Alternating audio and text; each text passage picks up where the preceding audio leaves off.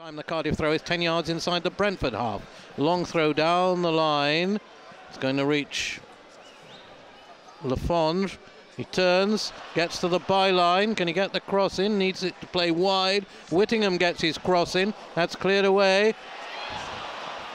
Cardiff can't get the shot in. Brayford gets it back in. Jones brings it down and scores! It's 2 3. That's a really, really good finish from Kenwyne Jones because it looked like the chance had gone. They worked the crossing opportunity from the left. Got Aron Gunnarsson just poor touch with his chest at the edge of the area.